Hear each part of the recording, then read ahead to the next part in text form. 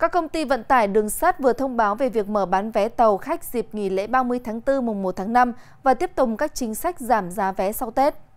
Thông tin từ Tổng Công ty Đường sắt Việt Nam từ nay đến ngày 31 tháng 3, ngành đường sắt áp dụng khuyến mãi 6.000 chỗ giảm giá 30% cho tất cả các loại chỗ trên các đoàn tàu.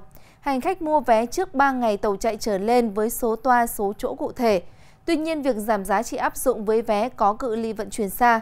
Ngoài ra, chương trình giảm giá áp dụng khi khách mua vé khứ hồi, vé tập thể và áp dụng cho các đối tượng chính sách xã hội, sinh viên, đoàn viên, công đoàn, hành khách có thẻ khách hàng.